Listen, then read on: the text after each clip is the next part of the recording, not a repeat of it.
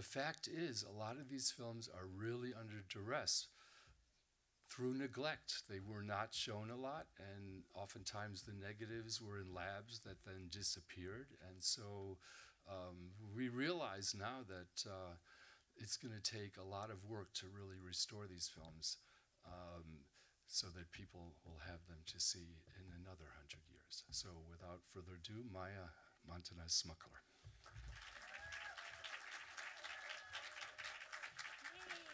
Thank you, Chris.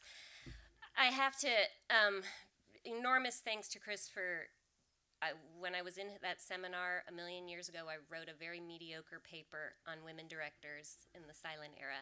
And so thank you, Chris, for believing I could get better. And I did. thank you all for coming.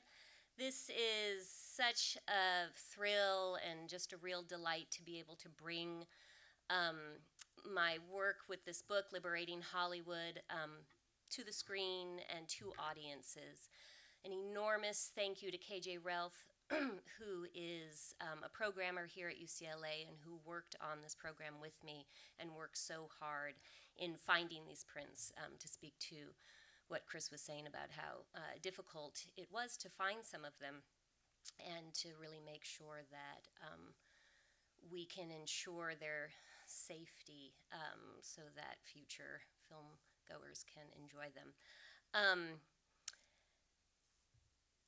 tonight we are starting off with um, two films by Joan Tewkesbury, and Joan is here with us tonight. So honored to have her here and on our opening night. Um, so please stay for a Q&A. We're starting with Old Boyfriends. We're going to do a, a Q&A with Joan in between, and then we'll follow with thieves like us. Um, I'd also like to thank um, Ed and Annie Pressman for helping us with the print that we uh, were able to get, and they were an enormous help. So thank you both, Annie and Ed. Um, a little bit about liberating Hollywood and Hollywood during the 1970s.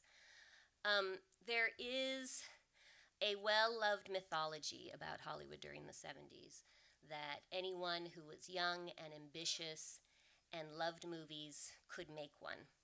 And in a lot of ways, that was true. The film industry during the 1970s was going through many um, industrial, um, economic, creative adjustments, trying to figure out how to make movies for a growing and demanding young audience that had much different tastes than their parents' generation. Um, there were many competing production cultures that were intersecting with Hollywood at the time. Uh, independent exploitation films, like the movies that we're going to showcase tomorrow, Barbara Peeters um, films. Um, an influx of foreign films that were appealing and challenging and um, invigorating American audiences and filmmakers pornography also. So a lot of things were happening in the 70s, and Hollywood was really trying to figure out um, how to stay current, how to uh, make films that were both artistically um, exciting and also um, commercial, uh, successful, had successful commercial um, potential. There also, of course, were the social justice movements that defined the 60s and 70s the civil rights movement, the women's movement, the youth movement, the uh, anti war movement, sexual revolution, counterculture, drug culture, rock and roll, etc. And so, what Liberating Hollywood is interested in is this intersection between the shifting cultural, social, political landscape and how that intersected with the changing um, film industry. And so, in that moment, there was this opportunity for young filmmakers to enter the film industry in a way that previous generations hadn't before. But the, the important note is that that access was um, predominantly for white men. But what started to stand out to me is that because of the influence of the feminist movement changing all areas of American social and political and cultural life, that there was actually a number of women for the first time in generations who were starting to make feature films. And who were those women? And why were they never talked about? And why were they not commonplace in this mythology about Hollywood during the 1970s? And so that's what Liberating Hollywood, the book and the series, looks to celebrate. Um, and um, what I found in my research is that there were 16 women. I hope there. I hope I missed some, and somebody tells me there were more. But for my years of research, I found 16 women who were making feature films in the United States in the 1970s. And they really ran the gamut. They were folks who made independent films, um, like Old Boyfriends Tonight, who made uh, grindhouse exploitation films, like Barbara Peeters and Stephanie Rothman, folks like Elaine May, who were able to work in the studio system. Uh, and so there was a really diverse selection of filmmakers and um, and they are such an important part of American cinema in the 1970s. The um, the category of woman filmmaker is forced. It's a fake category. Um, we are forced to use it because we have to speak about discrimination and sexism. Um, and so that's something that Liberating Hollywood pays attention to in studying the specific moment um, in the 1970s, this very specific historical moment um, when Hollywood and um, American social, the, uh, the landscape of America um, in terms of social and political issues intersect. But what's really important is that we look at these filmmakers beyond gender and we look at them as individual artists who were coming of age in the 70s and the incredible contributions that they made to um, to again American cinema, and um, and so in this series we're really able to celebrate these folks as um, the individual artists that they are. So um, thank you so much for coming. We have an incredible series that runs throughout February. And um, please stay for the Q&A with Joan Tewkesbury and, and enjoy Old Boyfriends. It's the one time we really can enjoy an old boyfriend tonight.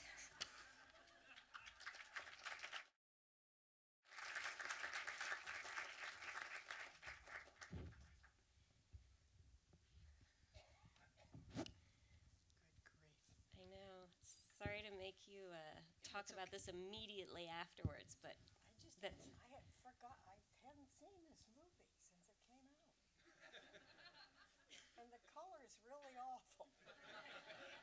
Oh, Yeah, we're very sorry about the print, but as we sort of said at the top of this, it's the struggle with with you know these films, these older films, but actually there is a chance that there might be a new print being made sometime in the yeah. future. So, no, actually, it's just fine. Yeah. It's just nice to see that, yeah. so um, do you have an initial reaction? Do you want to just? Well, I'm shocked because I, um, it, there are certain things that you go, oh my God, you know, but, but it's nice. It's a nice movie, you know, no.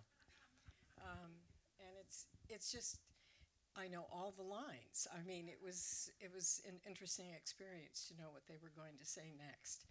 And also the, um, the loss of Richard Jordan. I mean, as you know, people do pass away, but it's um, it's too bad. He was a wonderful actor, and what I realize is how much I love the actors in this movie. It's an incredible. I mean, they're so dreamy, all of them. I know, and we had such a silly time with all of them. We and with Belushi, of course. I mean, he was thoroughly damned for making this movie because he had done Animal House was the first film, and they thought that this movie was going to be Animal House, his fans, and it wasn't.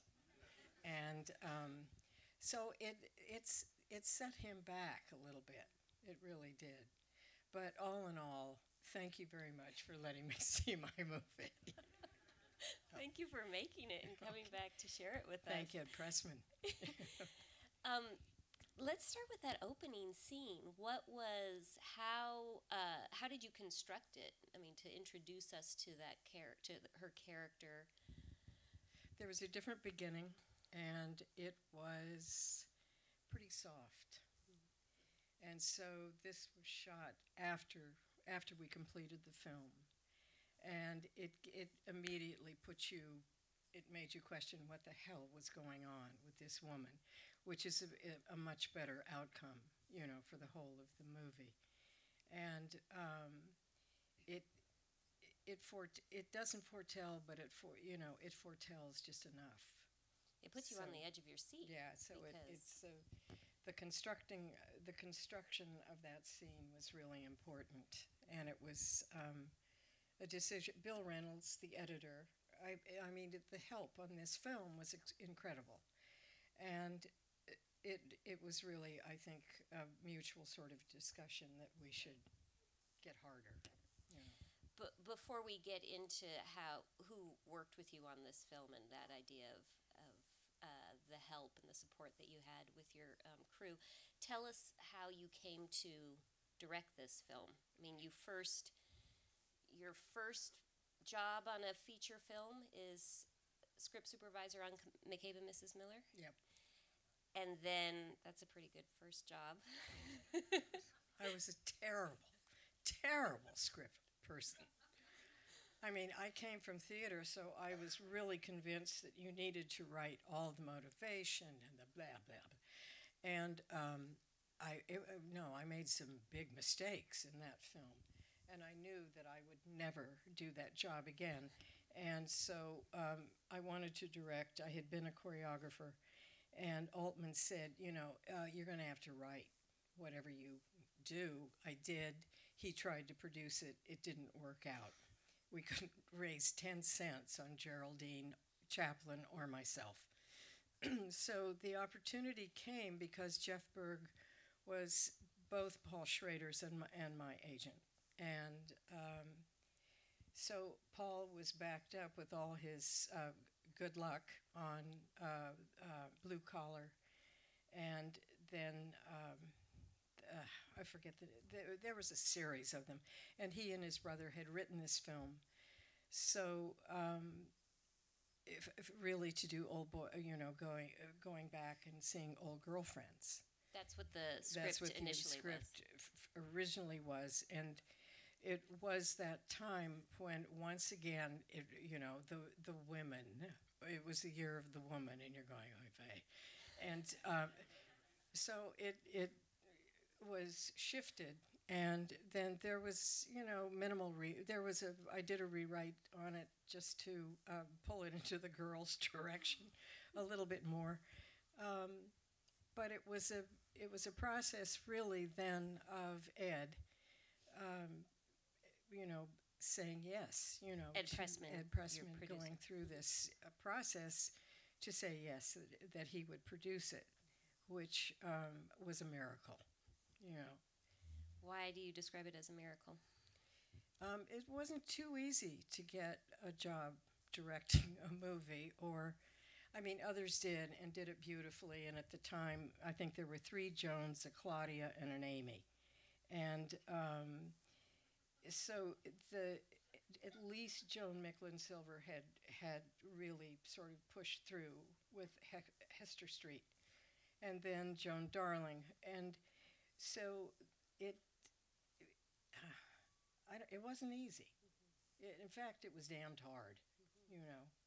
So, So you felt even with the support of Robert Altman and a Paul Schrader script, the- there was still wa- challenges. yeah, there were challenges, especially with with Bob, because a lot of people had prejudice against Altman, and so if you came along and you had worked with Bob, everyone went, "Oh, really good." Next, you know, and after doing uh, in Nashville, it, it was not just a sort of character. I mean, it was a character piece driven by a lot of people, so um, nobody was interested in doing one of those.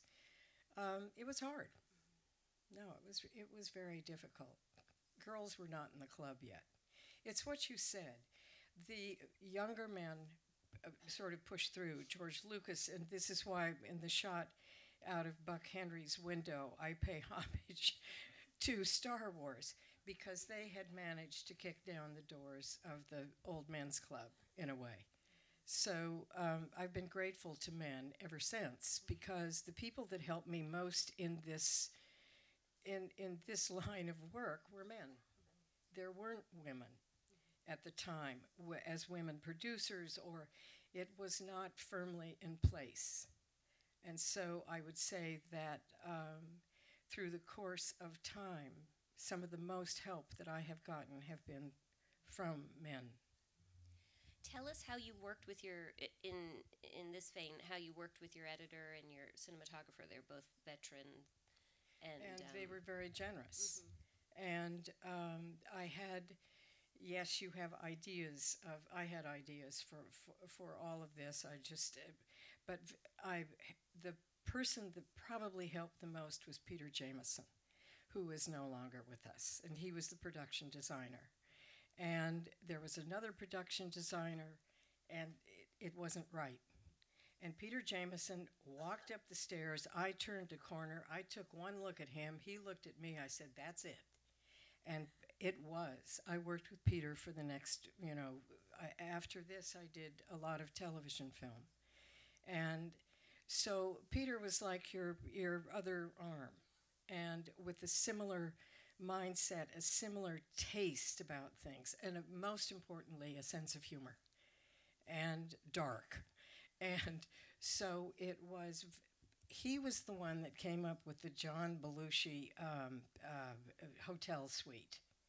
As written, it was supposed to be in a very chic hotel.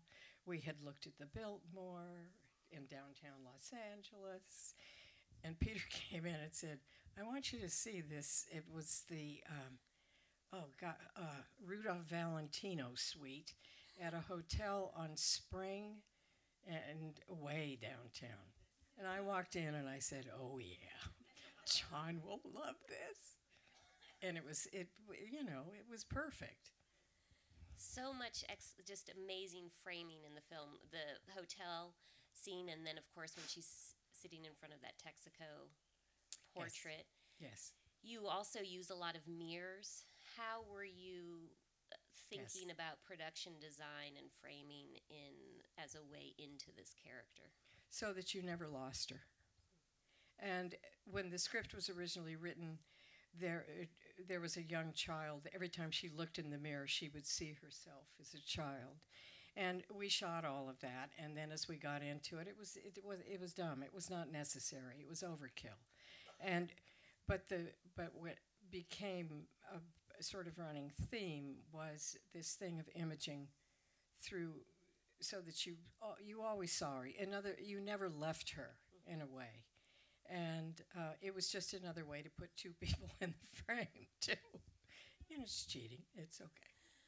There's that one scene after uh, she's uh, uh, she and uh, Richard Jordan spend the night together, and she drinks the she puts the liquor in the, on her hand. and It's totally Talia. I mean, I just went okay.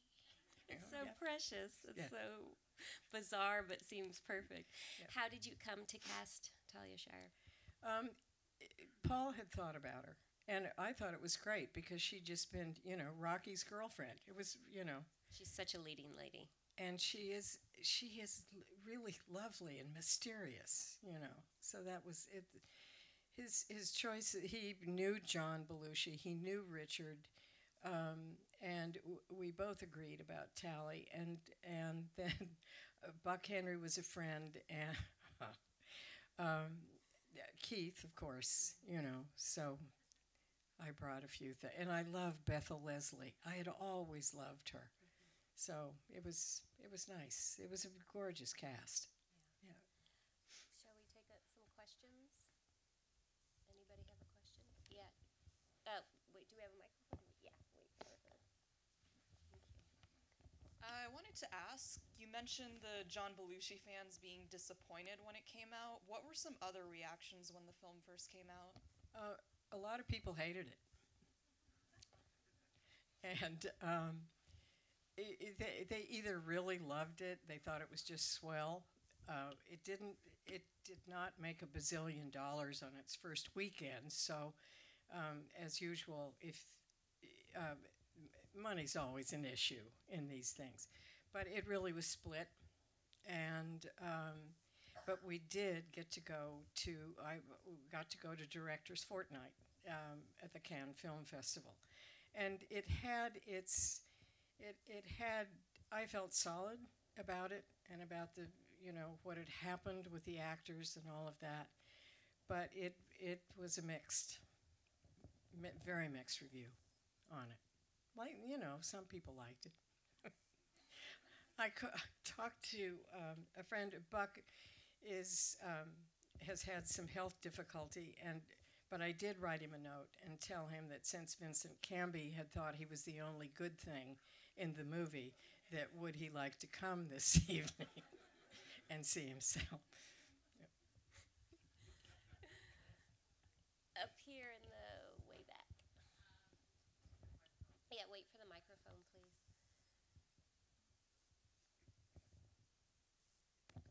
Hi. um, could you talk a little bit about your work with Keith Carradine, and uh, especially in this movie, his, his physicality and his kind of uh, quirkiness was so wonderful. Keith, um, I'd known him obviously f- through the f- McCabe and Mrs. Miller and, and Nashville, and um, And thieves like us. and right thieves like Silver. us that you'll see. Um, and you'll s- when you see him in that movie, he's he and Shelley were just gorgeous, you know. He had a very a calm quality about him. He listened well to everything. He was curious, and you could slip a suggestion, and he would bring you three more things. So usually, my way of working with actors is to watch and to listen, and you know maybe whisper two things in their ear just to take a shift, and then they'll you know. He's smart. He's a very smart actor, and so it was an easy process in that way. Um, I would say that uh, Belushi was also. Um, uh, Belushi had his own quirks, and um, the night that we did the love scene, the night that we did the love scene on the hill uh, with Belushi, he um, wasn't quite sure that he would get through that or not. He managed to do just fine. But Keith is it was a, and is a quiet actor, and you don't have to do a lot of prodding. You just sort of send it in a direction, and and the character is written in the script is the character that he fulfilled certainly, you know, in a very gentle way. And Bethel helped as well. I mean, her the strength of that actress is is quite extraordinary. So. How did you um, how did you work the voiceover with um, Talia Shire's on screen? We did th- we did three different ages. Uh, my daughter is one of them, um, and there was a lot more to it. And once again, like the image in the mirror, you didn't need a lot. You just needed uh, you just needed to thread enough in so you had cause, and you could see why she was pissed off about Belushi, you know, and so it was but again it, we overshot overdid had too much. It's like cooking you know you just keep pulling it down pulling it down pulling it down. But there were three absolutely three different ages. Was the voiceover in the original version when it was Old Girlfriends? i don't know. I really i don't know because i just i saw this version of their of their material Other questions? Up here, way up here in the back. Oh, sorry to make you run.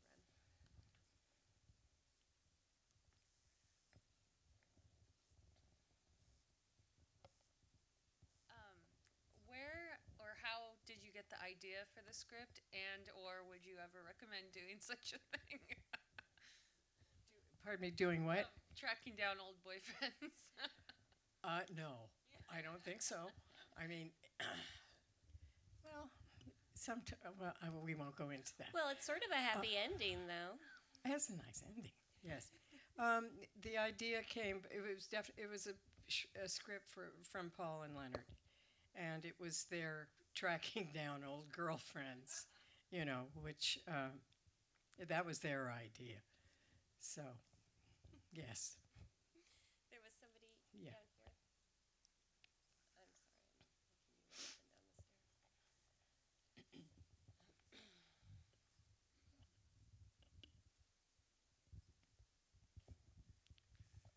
Hello, Joan. Hi. Chris McIntyre from the Acorn People. Yes. oh my gosh. So we worked together three years after this, yes. and my question for you was, how difficult did you find it to transition from theatrical films into television, which you know where most of your career laid after this? Right. I didn't because I treated every television film like a feature. Um, and figuring that um, it was my way to make a feature film.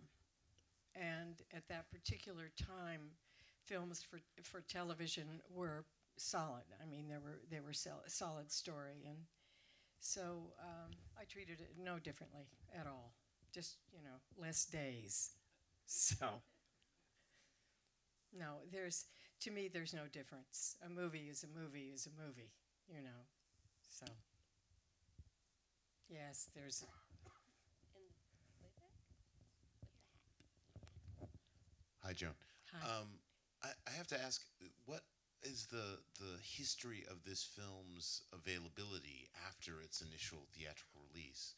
You know, I was shocked to have, before this wonderful series was programmed and, and advertised, uh, ha- to have not heard of this film, even though I'm you know a big fan of your work. Um, and and so I, I'm just wondering, you know, why do you think this film perhaps fell out of the public consciousness in a way that other films, even films that were not successful theatrically at the time, didn't. Um, and then, secondly, what influence among the people who have seen it have you heard about or, or, or, or felt in feedback over the years? I, I couldn't help but think of the uh, the wonderful film Broken Flowers by uh, Jim Jarmusch, which is is sort of like Yeah. old girlfriends in a way, you know. Um, but just curious. Um, I don't know. It um, in terms of happened to it. I think again people were confused by Belushi in a way. They expected it to be a different kind of movie. Um, it did, you know, it did well enough, I think. But at the time, um, it, I, I, I really am not sure. Um, and what's happening to the film now is that it's being addressed in a lot of these films. Uh, it's being addressed to be able to show them, you know, in in, a in special venues, and um, with the great help of uh, someone who's very interested in promoting this kind of thing, Rialto Films, and but also just to try to get a, a reprint of this so that you can actually see what it looked like. Um, but it's hard to say. It really is hard to say because you're not. I the I am not responsible for the distribution or what happens to it afterwards, and it really has to do with the kind of popularity who who want what movie star you know do people want to see. So, I'm sorry not to be able to answer you more clearly. I wonder if Ed Pressman, do you are you here?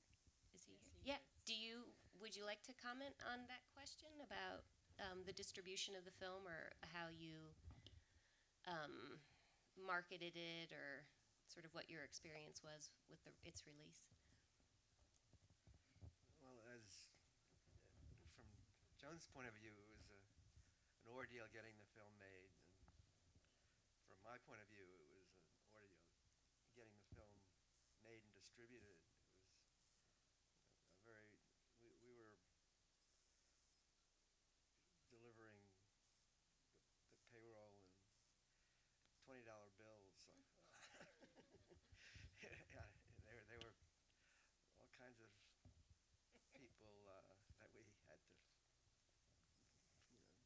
woodwork to get get the film made, even with Belushi and yeah. Joan and Trader and all this. stuff. As Joan said, it was. You know, it, it's a, it was not an it, easy it, make. Yeah. No. Uh, seeing it, seeing it tonight, I, I gotta say, I, uh, I saw it for the first time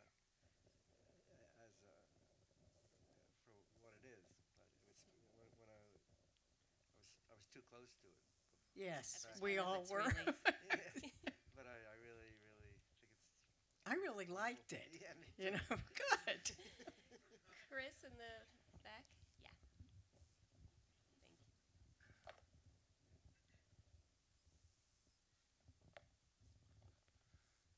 you. W- What I find the most amazing aspect of this film is the way you, with reckless abandon, switch genres from one boyfriend to the next, mm-hmm. and thereby probably confounded far too many expectations for the film to be successful in its time. But now, when you know, looking at it from more of a postmodern viewpoint, I think it's just, it's really an amazing work. Thank you. Were, were you conscious of that when you were constructing the film? Yeah, we were conscious of it. Yeah, and this is this is why I point out Peter Jamison's work because it was a um, I, at the, at that time I worked from still photographs a lot, and I would bring in books, and so Peter and I went through all the looks for each of these things, and he sprung the the Great Red Hotel, um, and then Fraker, we would go through the um, color and you know what what emphasis to place with each each of these men. Um, and it it yes it was it was a very careful study and it's almost like different sets of paintings for each of, of you know these boys. And the the scenes in the in the Keith Carradine section um, uh, some of it was shot in Seattle. Some of it was shot in South Pasadena. Um, uh, John Houseman's office was at Immaculate Heart College, which is now AFI. Um, so we had the opportunity to to have that one location trip to get exteriors. And then Talia at the time was married to David Shire, who wrote the um, score. Some of it is a, a tad over the top, and you're sort of going, "Oh my god!" But for the most part, the the gentle theme is is is really lovely. So We have to go to our next film. Do you want to say anything briefly set us up for Thieves Like Us? Because I, I will. Uh, it's it was a film again that was made with twenty dollar bills practically. Um, the Bob uh, Altman and Jerry Bick uh, and uh, George Litto at the time was uh, Altman's agent. Um, Bick had the rights to the to the book. Um, it was a straight. I really it was a straight adaptation from uh, Th- Thieves Like Us, and we were to shoot the film in Mississippi, and two times we went down to start pre-production, and two times we had lost the money for the film from Los Angeles to Mississippi on the airplane ride. Finally, those three um, stood in near the Xerox machine in the production office, and they all said, "Okay, I'll mortgage this much of my house." I mean, that's how the film got made. Um, it is a, it is a really it's beautiful, and finally you'll get to see nice color next. Um, it was shot in the spring in Mississippi. Bob hired uh, Jean Boffety, um, a French cinematographer who would not be prejudiced or know anything about what was going on in the South at that time. Um, at that time, it was it was pretty intense, um, and I was often in charge of going out and finding locations. I had very long hair, And I was told as I was, I went up one, walked up one side of the street, crossed the street, came back, and I finally found the beauty shop, and that we were looking for. And the woman inside the beauty shop said, "Girl, if you don't tie up your hair, somebody's going to come and cut it off." That was the climate that we were shooting in. It was a six-week schedule. Um, it was classic in one sense that Bob pulled all of those actors out of McCabe and Mrs. Miller. So we all had known each other for a very long time. And it's a sweet film, and it's heartbreaking in a lot of ways. And um, it's when you see Shelley and Keith, they're just, they're absolutely beautiful and it was released the same weekend as The Great Gatsby with Robert Redford, and so you can see where Thieves Like Us fell in the mix. Um, Pauline Kael liked it though. So Thank you, Joan Tewkesbury.